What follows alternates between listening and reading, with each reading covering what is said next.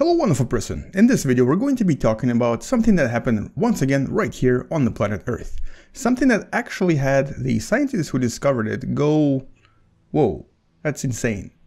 We're going to be talking about something that's actually underneath our feet, something inside the actual crust of our planet, something that we didn't really know was even there. Now you may have already guessed what it is from the title, but you may need to actually watch the rest of the video to realize how sort of insane it is. Let's talk about this and welcome to What Da Math.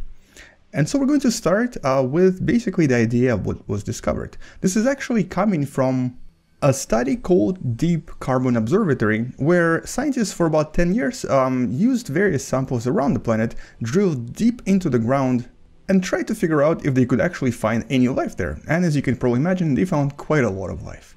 But they didn't really realize how much of it is out there. Turns out they discovered so many different bacteria and so much so-called carbon mass or biomass of um, different bacterial life that it redefined our understanding of not only how much life there is underneath our feet, but that it's actually most likely that there's more life underneath the ground than there is on the surface or in, in the air of our planet. In other words, they've discovered a tremendous amount of bacteria.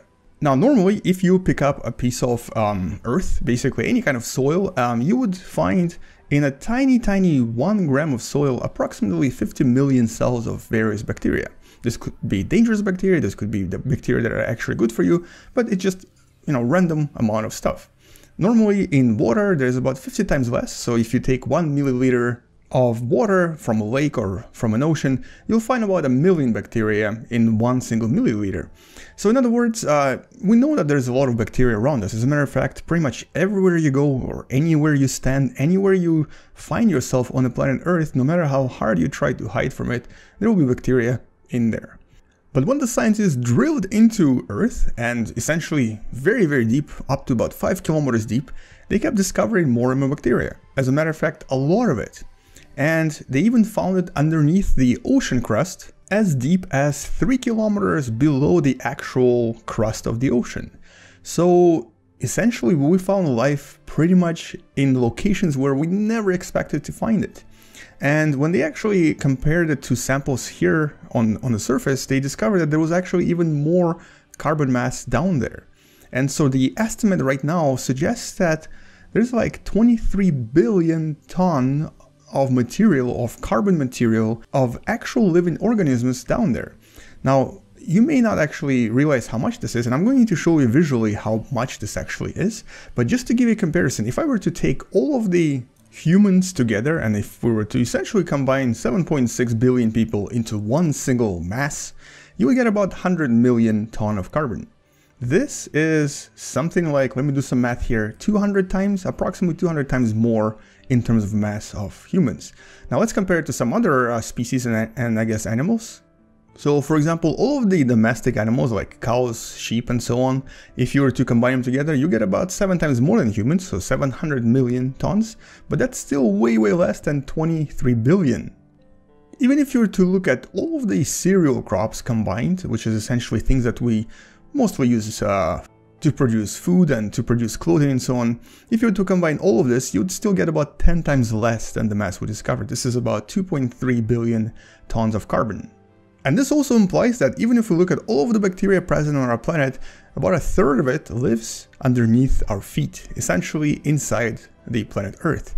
And this groundbreaking discovery also suggests that um, we have a huge chance now of finding life on Mars, or really inside Mars.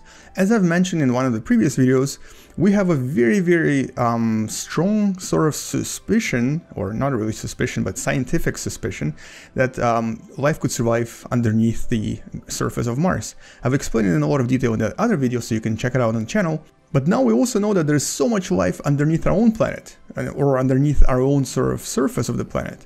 And this of course suggests that we could actually find it pretty much anywhere at this point. And this also means that we really underestimated life in general. We didn't really think it could survive in these conditions and it totally can and can totally thrive there. Not just survive but actually have a blast down there underneath our feet. And this of course also means that we now need to start looking for a mission to Mars where we can maybe find something there because there's a very high chance we're going to find something. But this particular study also found that certain types of diamonds um, from about 600 to 700 million years ago um, actually had signs of being produced by life essentially. They were made from material that used to be living organisms, which suggests that maybe in a few hundred million years, you and I will actually become diamonds. That's pretty awesome.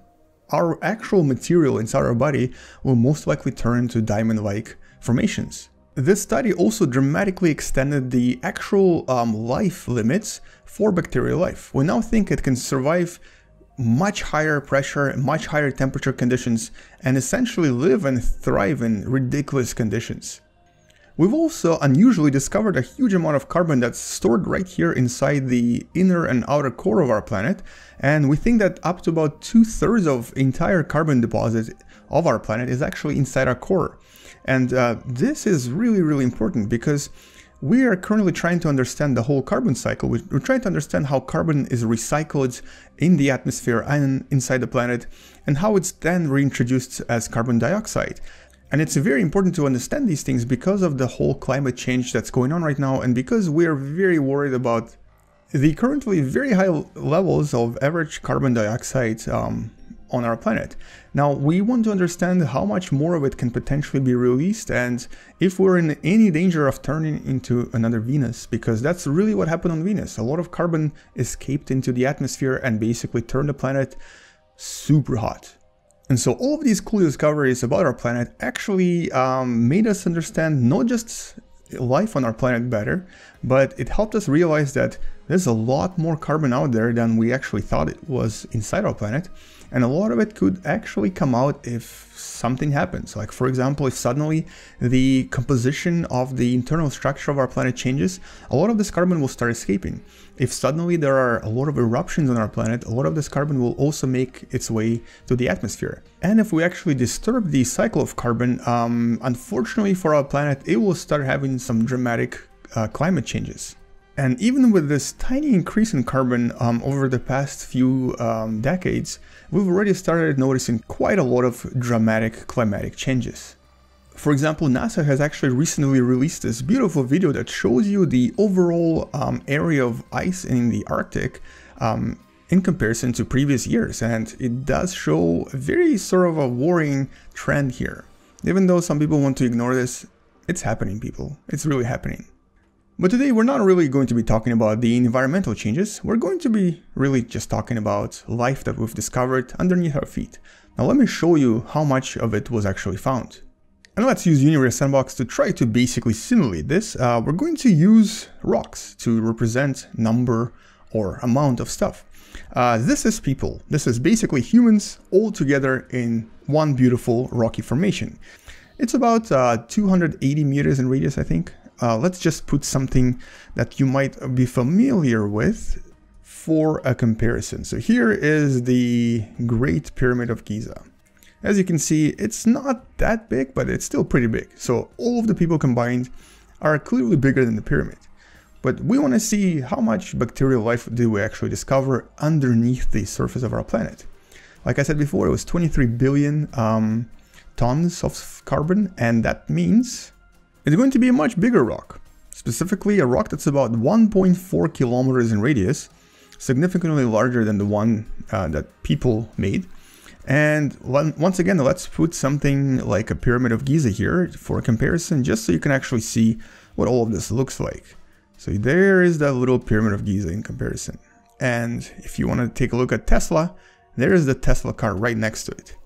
So um, there is a tiny car and that huge amount of material is essentially the underground bacteria we've just discovered um, in December of 2018.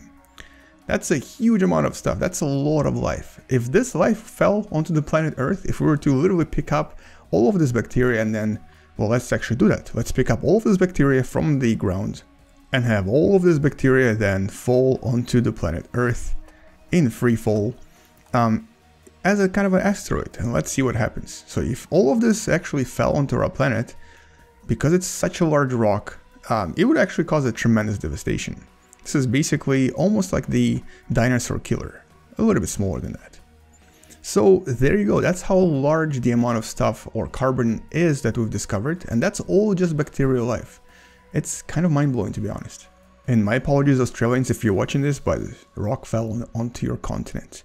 Anyway, so that's really all I wanted to show you in this video. It's it's actually a very big discovery. It's a discovery that will have such huge ramifications that um, it will most likely change how we approach astrobiology, the search for life outside of our planet. As I mentioned, Mars is going to be the first uh, target of this particular discovery, but I'm sure other moons and other planets will follow pretty quick.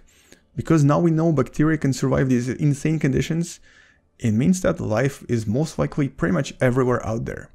As long as it could have actually evolved there, of course. If it evolved on those objects, from the beginning it will probably be able to survive underneath. And we think that it may have happened on Mars. Hopefully in the next decade or so we'll discover that, but for now we can only speculate. Anyway, let me know what you think in the comments below. Thank you for watching, and if you haven't subscribed, please subscribe. And if you've enjoyed this video, maybe even share it with someone who likes to learn about sciences and space in general. Also, maybe consider supporting the show on, on Patreon because it does kind of help me a lot. See you guys tomorrow. Space out, and as always, bye bye.